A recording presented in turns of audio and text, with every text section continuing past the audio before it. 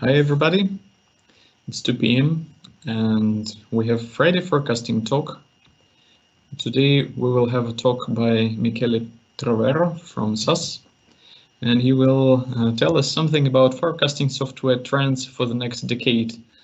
It's uh, an interesting title uh, which he came up with, which has two meanings and let's see how he spins this uh, around this, uh, this title. But before we do that, I wanted to say a couple of words as usual about the center. So here is a brief information about us. We provide different sets of services, including short courses, consultancy, master projects, uh, software development, and so on.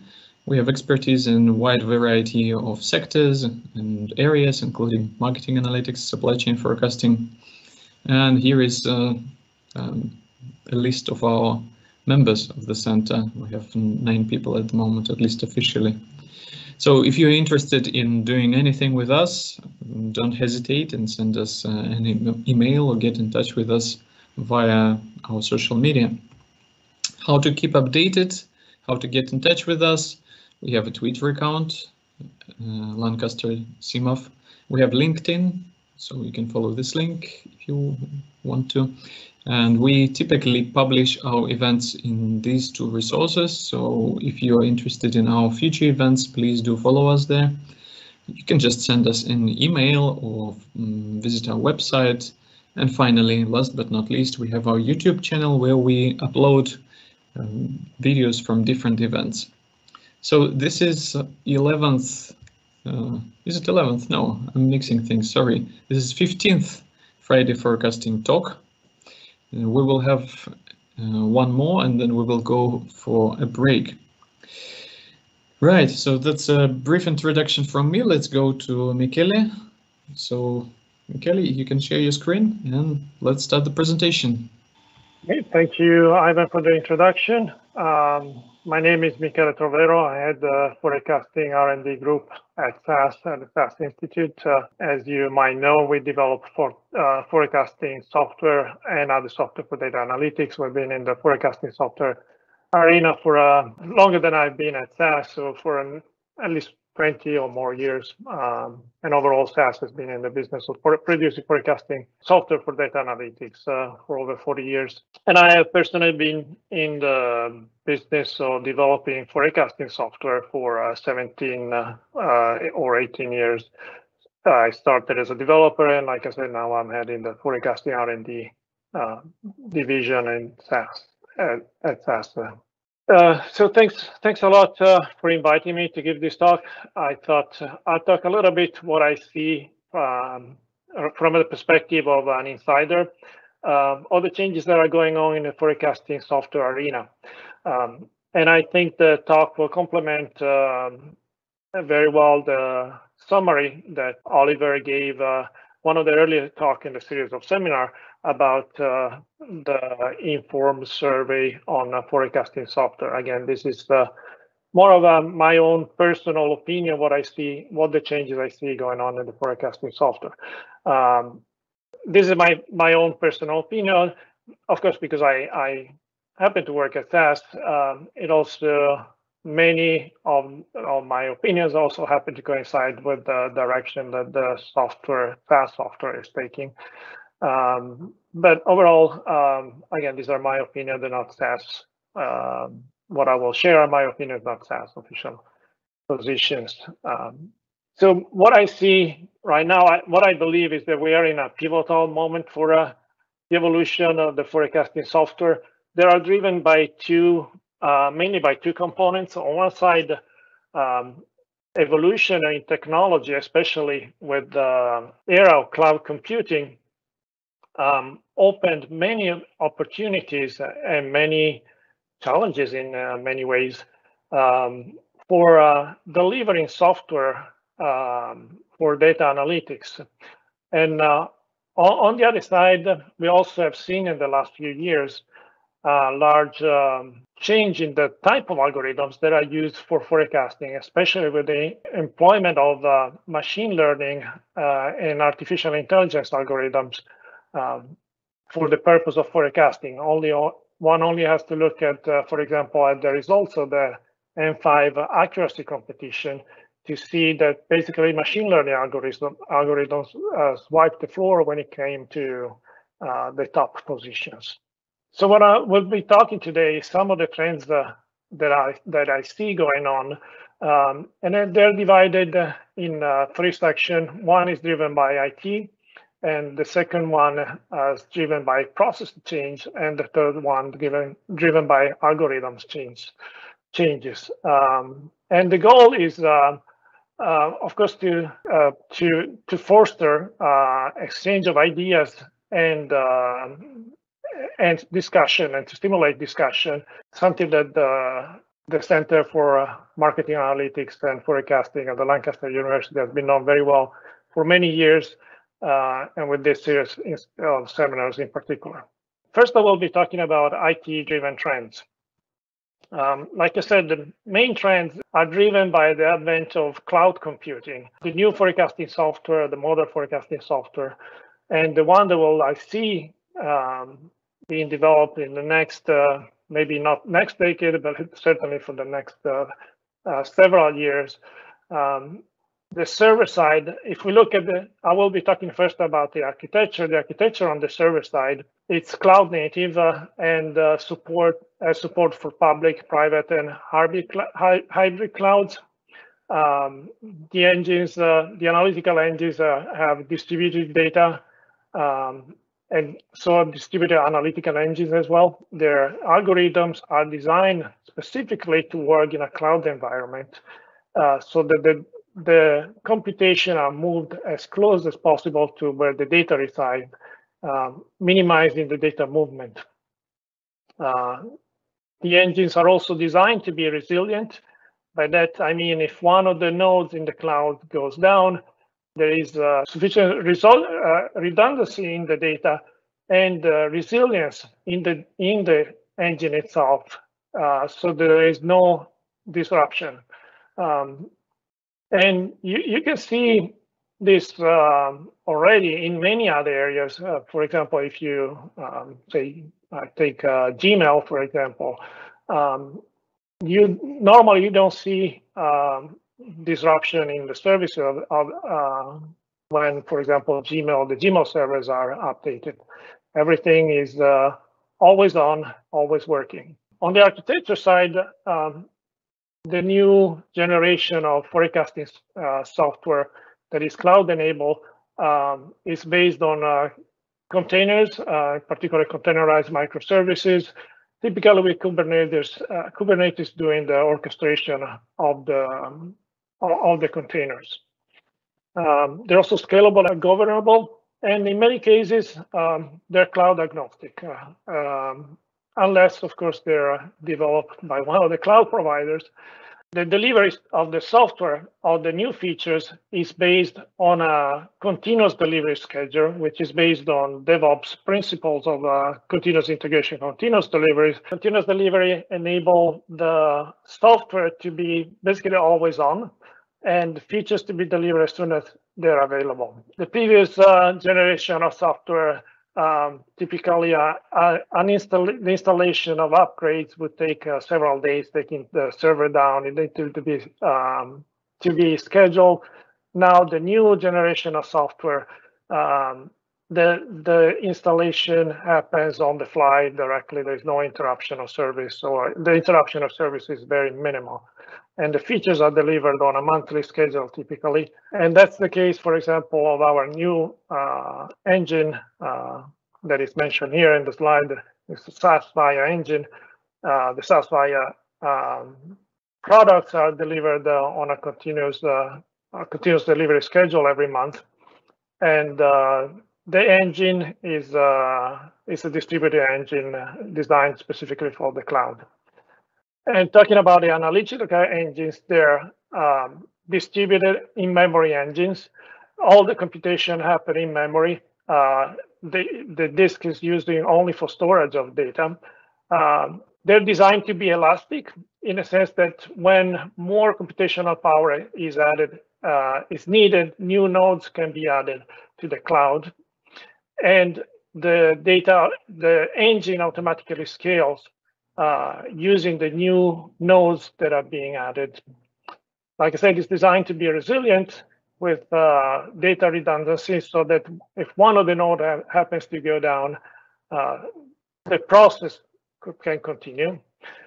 They're also designed to be open. Um, in many times they're language agnostic um, and have open APIs. Here I have two screenshots of um, visual forecasting, which is our uh, new generation software for forecasting, large scale forecasting that we are currently developing.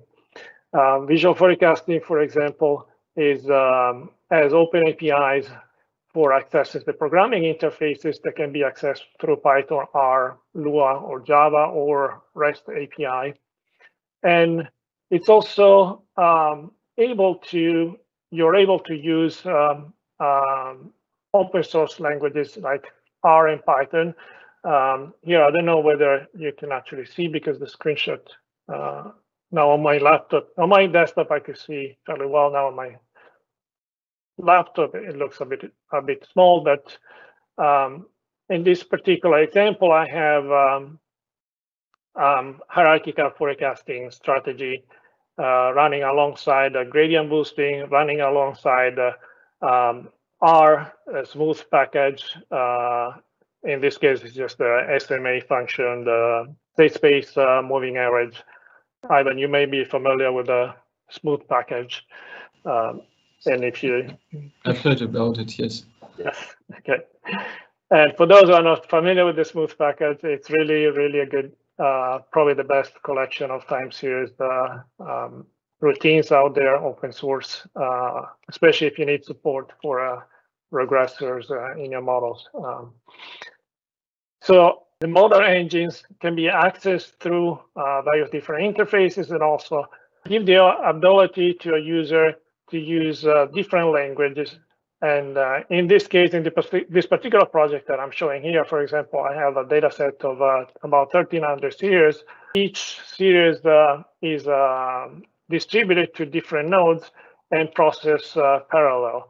And it happens um, for uh, the nodes that are SAS native, but also for the node that is um, using R. In this case, in the node that is using R, in this case, we um, run an, um, a version of the, R interpreter on every thread in every node so that it, it runs in parallel. Now I'm showing here R, but it's possible to do that also with Python.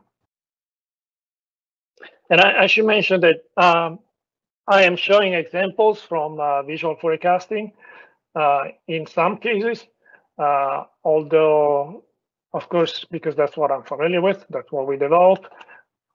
Uh, this, what I believe, this I believe are trend in general for forecasting software, not necessarily limited to SAS software. On the client side, the architecture is based uh, on uh, in-browser client applications, which means um, it greatly simplifies uh, the IT work, but there is no, no client-side installation. You just point your browser to a URL and the application is automatically loaded within your browser. Um, of course, this reduces IT costs uh, because there are no need for upgrades, no need for maintenance, no need for managing licenses at, uh, at the client side. All Everything is done only on the server side.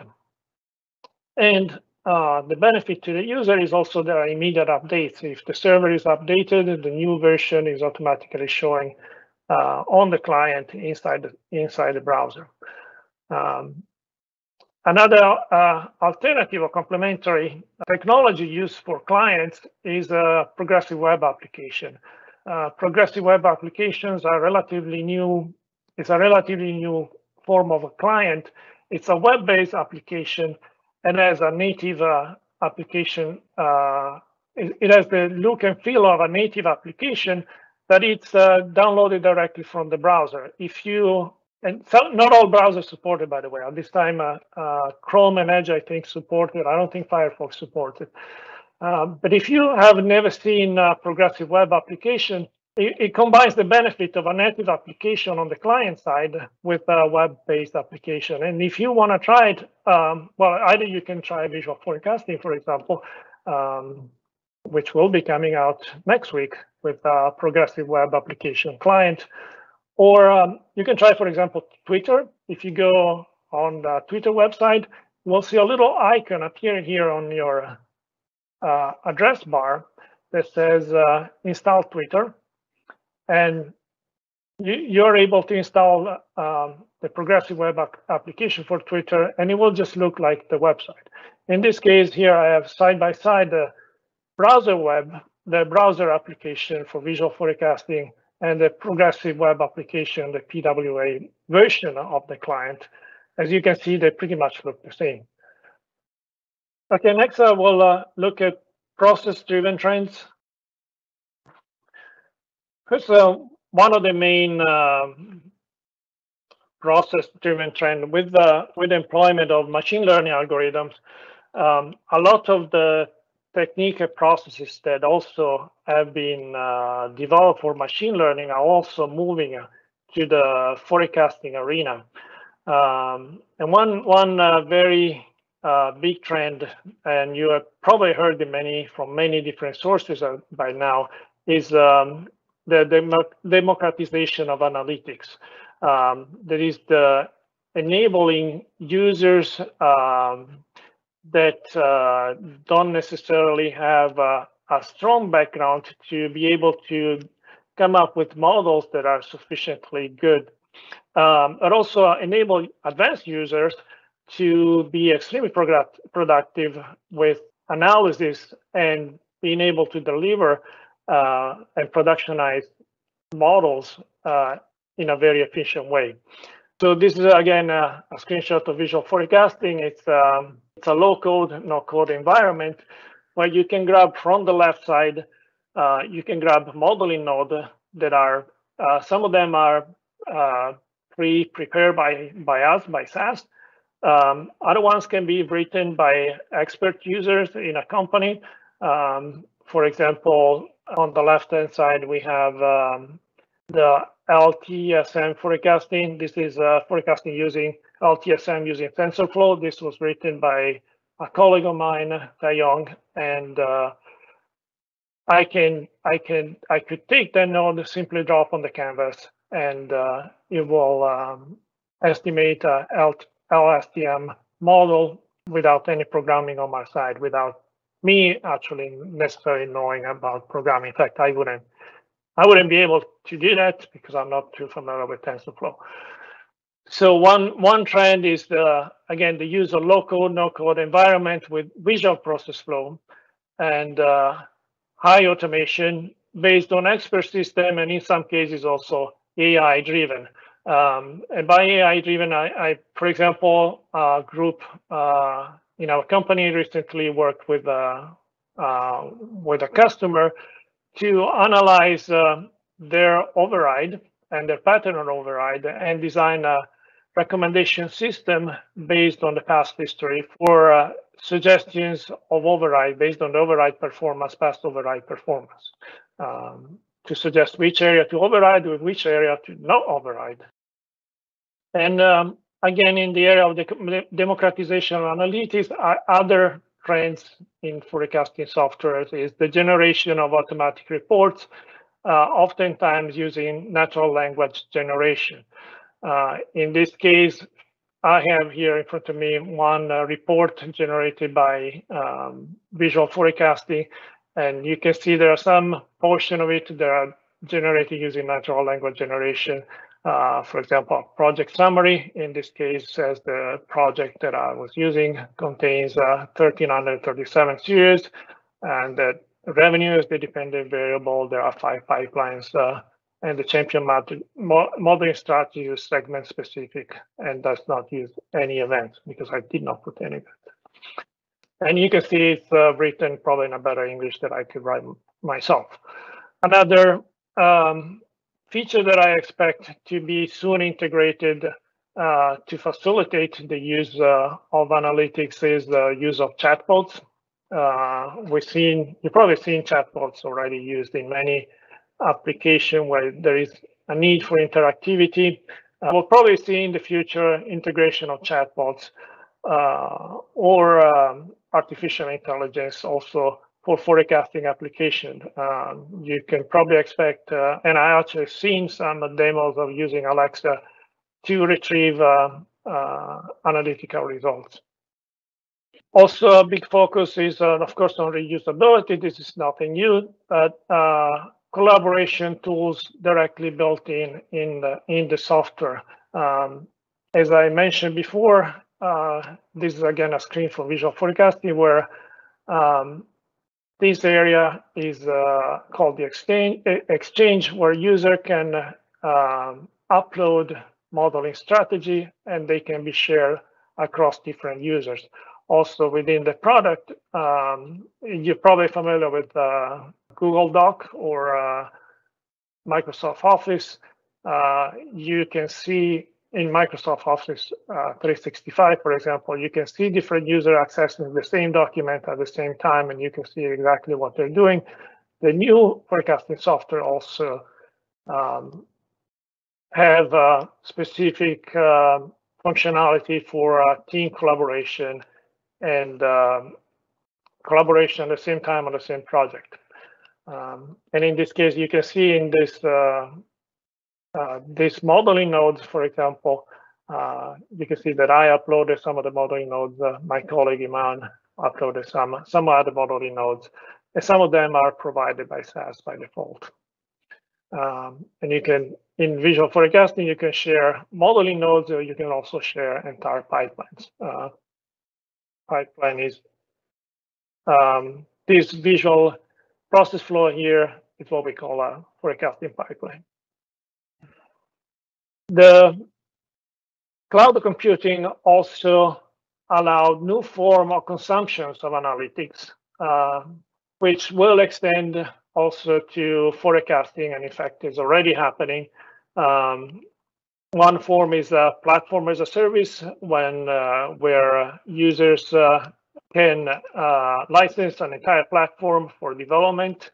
Um, this is platform as a service probably uh, a little less relevant for a, a, end user of forecasting software, but certainly software as a service is, um, again, cloud computing enables the ability to, uh, alongside uh, the old form of where you actually buy the software package, you install it on your local machine, um, you can also assume forecasting software as a service where the software is hosted um, remotely, typically on a cloud environment, and uh, you'll pay for the usage, but you don't have to deal with the IT part of it.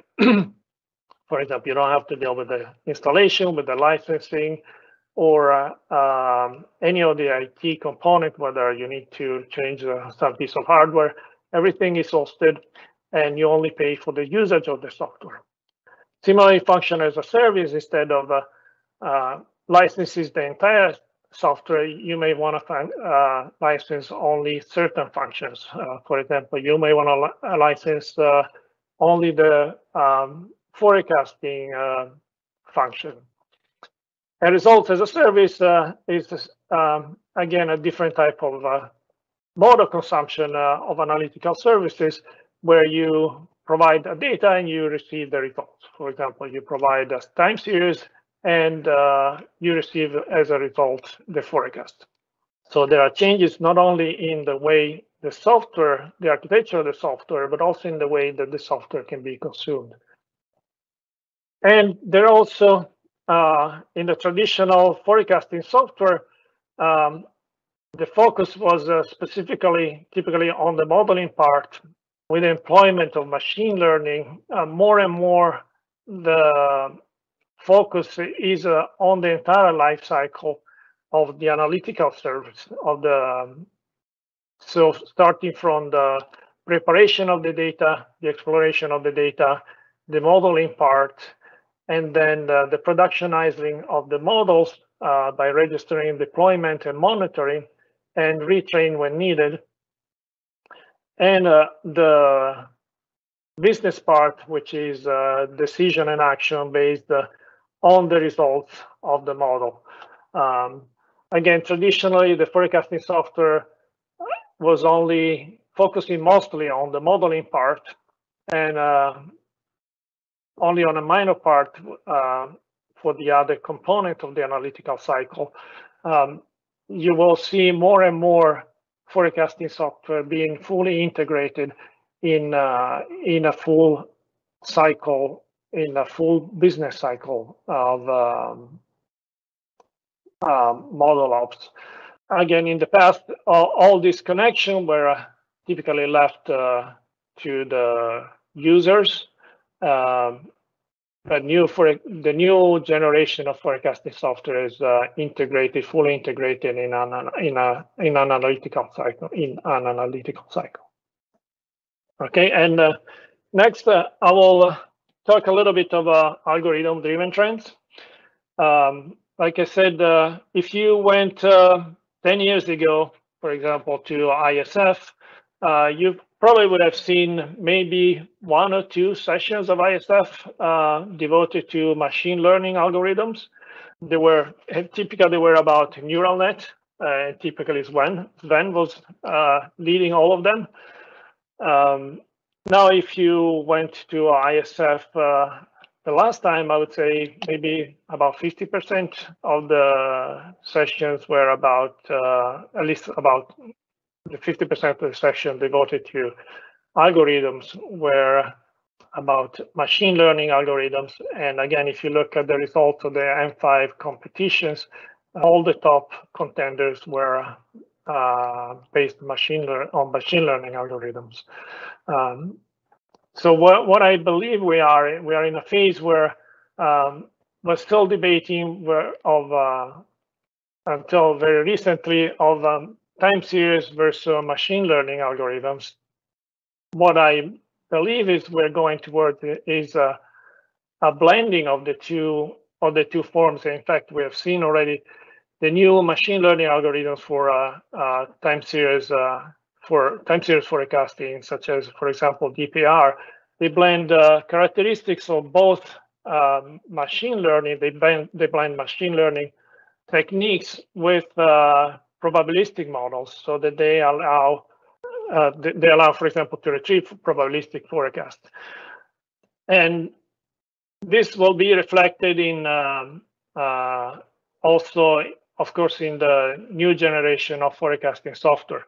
Um, here, just as an example, on the on the left-hand side, I have a, a forecasting modeling strategy based on purely time series algorithm. We have uh, auto forecasting, hierarchical forecasting, and temporal aggregation model. Um, on the right hand side, uh, I, we have only uh, machine learning algorithms. We have a panel series neural network, uh, a stack model. Actually, that's a hybrid model with uh, neural net time series. And on the right hand side, a gradient boosting model.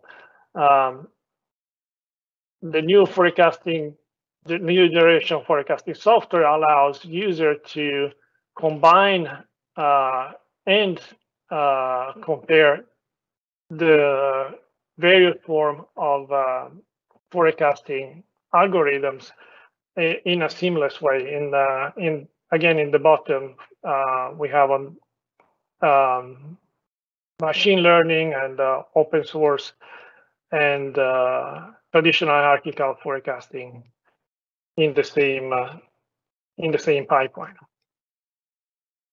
Traditionally, um, forecasting software has been mostly based on univariate model, especially using the hierarchical forecasting strategies where uh, spheres are divided in hierarchy and uh, each each element of the hierarchy is, is uh, forecasting using univariate uh, univariate method, method. In the past few years, there's been a focus, more focus on uh, global models that uh, forecast the spheres as a group not not a single uh, individual series, uh, not individual uh, variables. And where I, where I see going is um, um, where I see going the algorithm is uh, more towards uh, uh, what I would say locally global models, where global models are um, estimated to subset of the series, where the grouping is done in a dynamic way by establishing some proximity measure to find for each for each individual series the series that are within a proximity range and uh, bring some information that is useful for forecasting uh, that particular series. Um, so the what I expect to happen in the future is that uh, hierarchical forecasting will slowly give way to some form of dynamic um, dynamic grouping of the series. We have seen um, in the past several research based on uh, uh, clustering or uh, determining uh, optimal or dynamic hierarchies based on clustering. Uh, what I expect to happen is that um, there will, in the future, will be more based on uh, uh, dynamic, based on, for example, on graphs, um, on graph theory, and um, also transfer learning applied to the different uh, local groups, uh, so that the what is learned on a specific group can be transferred to another similar group that uh, has similar characteristics. Another area where I see forecasting um, expanding towards what is already happening in the machine learning and uh, AI um, area is uh, what I would call responsible forecasting to complement uh, what is typically known as responsible AI. That is uh, the uh, expand the interpretability and accountability of models and results, especially where those models and results are used for uh, decision that are affecting uh, directly uh, people. And also to more research going to finding bias in training data. There is a lot of research uh, done in forecasting about forecasting bias, especially human bias, uh, but uh, I am not aware there is much research in uh, in forecasting uh, in bias in the in the data itself for the training of the model. And finally, I want to also to point out some of the effects that uh, the COVID-19 crisis has on forecasting and especially those that uh, will affect forecasting software uh, that I expect to uh, affect forecasting software in the near future. Um, this is a topic that could probably take a whole conference to debate, uh, but I just, just want to highlight some of the what I see the most important. Um, and first is uh, um, the COVID-19 crisis heightened the importance of having accurate and timely data. And so it uh, highlighted the importance of having a process for data lifecycle. Um, having accurate and timely data and the ability to react to changes uh, in the data has been proven, uh, of course, critical, for example, for retailer to adjust to the ever-changing conditions. Um, similarly, the tracking of the models uh, and the need for having a process for analyzing the model lifecycle. Uh, models need to be uh, adapted quickly to the ever-changing conditions. This has also been uh, uh, going on for some for some time. Uh, the need to have to react quickly quickly to changing condition, for example, with demand sensing technique. Um, and the, this will probably uh, be more and more um, important in the in the coming future. One more thing that uh, COVID-19 brought to evidence is the need to have probabilistic forecasting and risk assessment.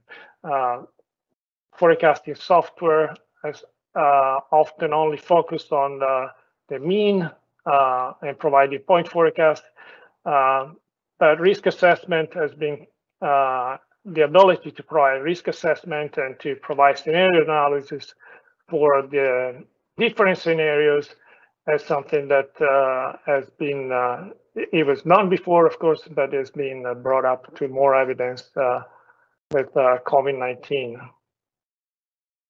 And uh, with this, um, I think I'll stop here. I'll just have a one more slide uh, with a word from our sponsor. Uh, if you're interested in uh, checking out visual forecasting, you can go to um, SAS.com BF, um, and there you can also sign up for a trial.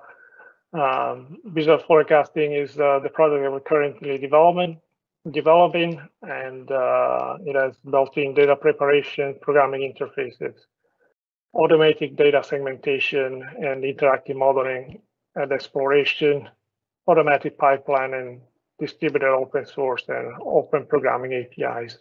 And this is it from me. Um, if you have any question, I'll be happy to answer questions. Right, thanks, uh, Michele. Right, uh, before we move to questions, I actually asked Oliver Schaer, who uh, presented, was it in October, about a software survey that we've conducted. And uh, I would be interested to hear, I think we all would be interested to hear what he has to say, if he has any comments or questions to Michele. So Oliver, over to you. Uh, thanks, Ivan, and thanks, Michele, for this uh, presentation. Very nice uh, to see, and I think there is a lot of overlap uh, with what uh, the survey we well I presented and you know Ivan and Robert and Alisa was working on in over the past summer. And uh, I have a you know a few um, points. Maybe we could just you know I would be interested to hear your opinion or your view. I think which I think is not ideally reflected also in the survey, but maybe you have an insight and maybe I start with this. You know, up, up, we now have this like much more options, I would say. You know, with the visual forecasting and so on. Um, you know, in more interaction. The question is I have is, you know, do you see a difference in terms of adoption of those type of software in either in terms of geography or industry or segment of a company size, for instance? Um, you know, that would be something I've, I think would be interesting to hear if you, from a software vendor's perspective of if you, you see there any uh, clear trend or something like that. Um, the the new generation of software, which is uh, cloud-based, is typically designed from uh, from the get-go for large scale. So the adoption uh, that I've seen, uh, I, I don't have uh, full data actually because I don't typically I don't uh, I, I don't deal directly with customer. Uh, as you know, we are we work in R and D, not directly with customer. But it's uh, the adoption I've seen is mostly by large companies, and uh, uh, obviously in the uh, Western, mostly in the you know U.S. and Europe. that that's mostly because there's the new again the new software is made for large scale um, and uh, scales to large sizes. So that's uh, that's what uh, typically large companies are after. Um, i wouldn't say there any specific sector that i've seen. Uh, of course uh, retail and CPG uh, is um, one of the sector that has large need for forecasting. And so it's not surprising that they are um, adopters. Um, but I wouldn't say there's any specific uh, sector over another um, compared to compared to the old forecasting software. Right.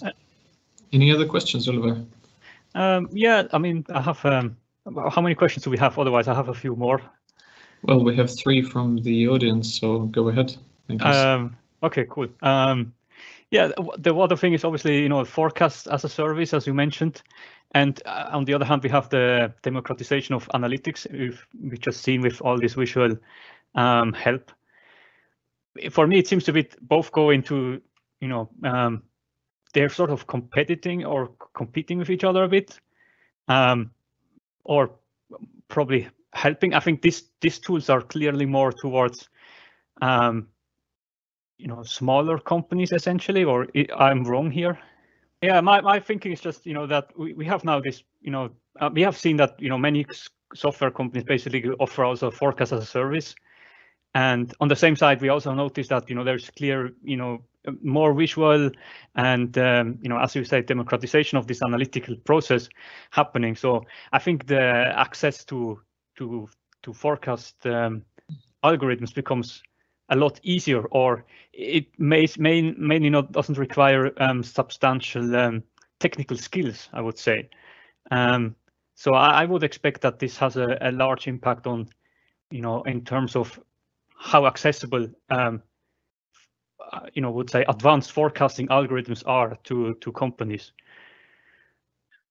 Yeah, well, that's that's one of the goal of uh, uh, democratize, democratizing the analytics to make it more accessible to different range of users, and uh, the software as a service and and the product, the uh, analytical product, they're also trying to reach different needs, uh, different customer bases, and serve different use cases. The software as a service may be uh, useful for, a, as you said, for a small company that uh, doesn't want to deal with the IT side of the business, uh, and they're more interested in just getting the results. Um, a product like visual forecasting that has a full uh, uh, support for a full life cycle may be more suited for a large company that needs um, the full control of their pr uh, process. But at the same time, uh, um, there's a high demand for a, a, highly skilled data analytics engineer. It's not always easy to find uh, qualified people. So the ability to um, productionalize models very easily, very quickly. It's uh, something that uh, hopefully will benefit uh, um, the analysts inside the company, both in terms of uh, uh, the time they can productionalize the models, but also to give the ability to some data analysts they don't necessarily have the programming skill to uh, develop, but they have the knowledge, the business knowledge, and the knowledge of the data to develop uh, reasonably good models.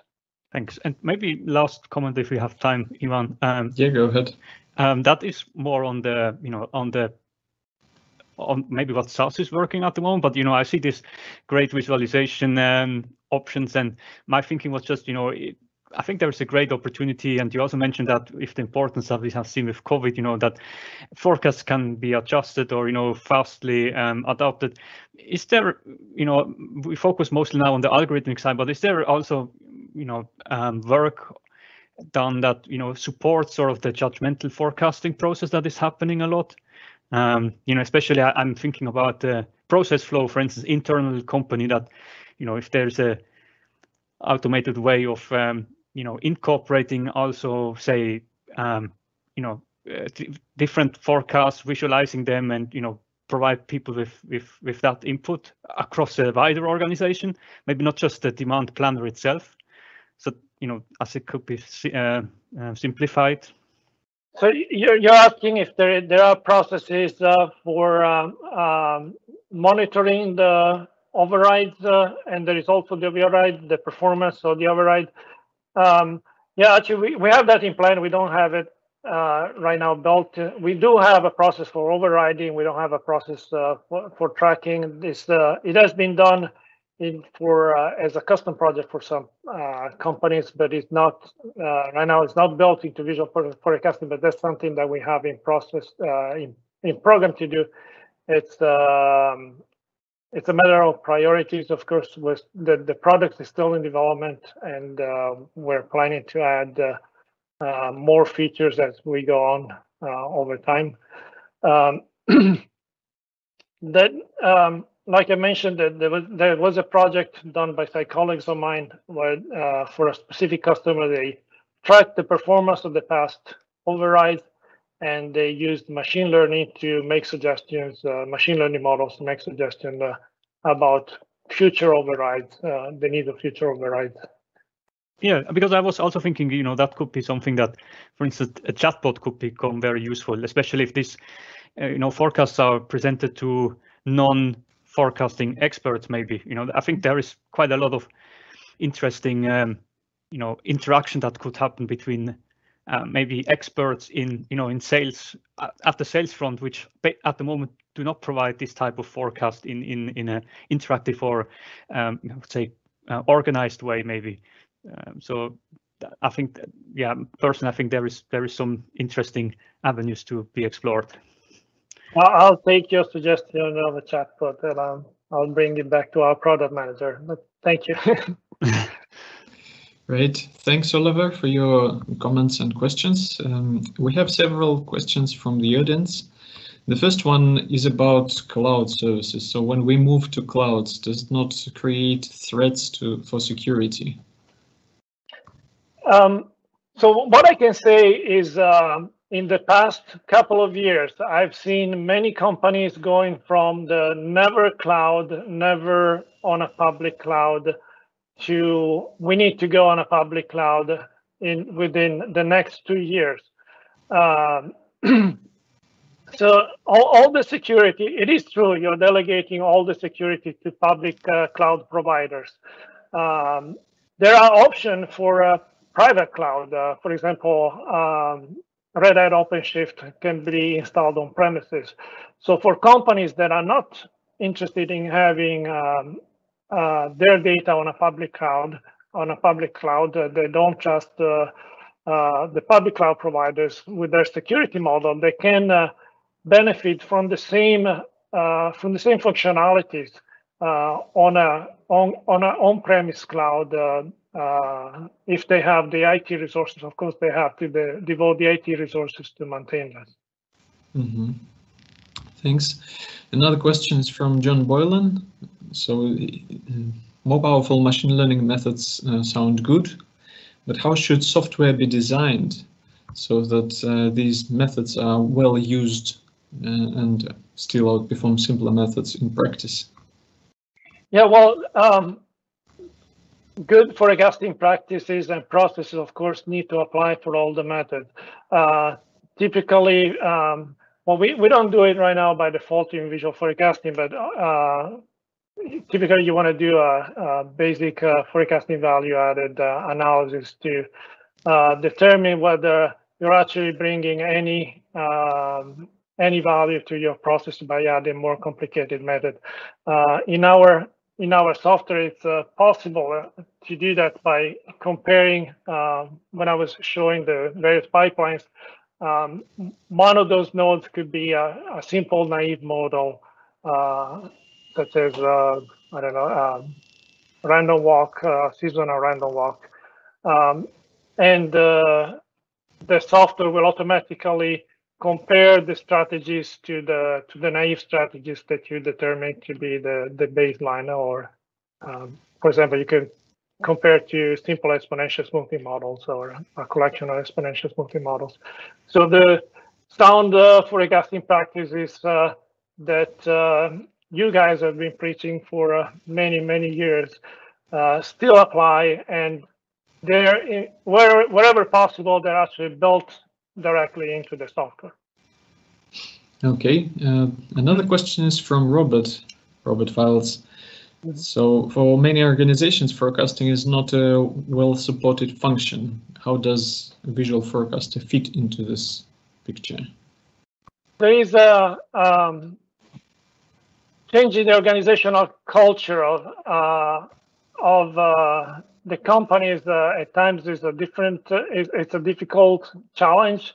Um, by showing the value uh, is uh, probably the best way to show how forecasting can be supported within the company by also providing a full um, a full life cycle management of their processes.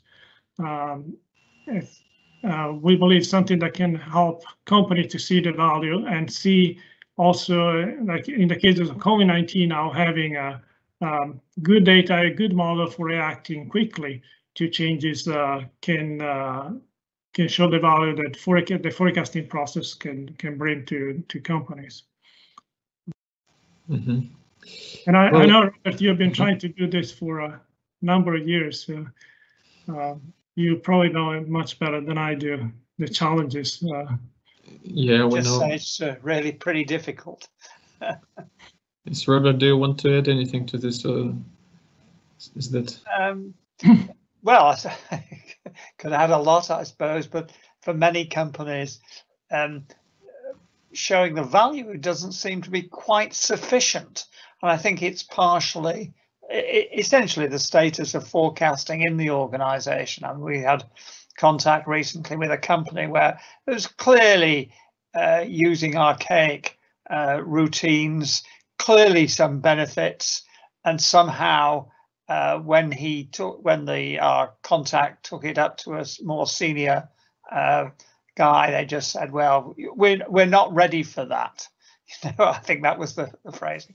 So yeah, I mean, uh, obviously there are individual companies, and we've got a lot of information about Walmart recently through the M5 competition publications in the journal and so on. Obviously, uh, Amazon, there's some companies investing heavily and know what the benefits are, but it seems to be extremely difficult. And uh, uh, Spiros and colleagues are actually trying to investigate this, although focusing perhaps on smaller companies. So, yes, I mean, these barriers are very real. So, in a sense, although the flexibility that you've described is extremely attractive, for many, that you know, it's still Excel spreadsheets. You know, that is still where it is. We certainly have seen uh, many companies uh, reaching out to us uh, during the COVID-19 crisis uh, to improve their forecast uh, because uh, all of a sudden all their models were not performing anymore. Um, so hopefully that's a call to action for them. Um, Right. I think we need to finish. Thank you very much, Michele, for presentation. Thank you, Oliver, for your comments. And uh, we will have the last uh, webinar in two weeks. So stay tuned and have a nice day. thank you. Thank you for inviting me to talk. You guys have a good evening there in UK. Thanks, Yeah. everybody. Have a Bye. good day in the US. Bye. Bye bye. Thank you. Thanks, Bye-bye. Michaela.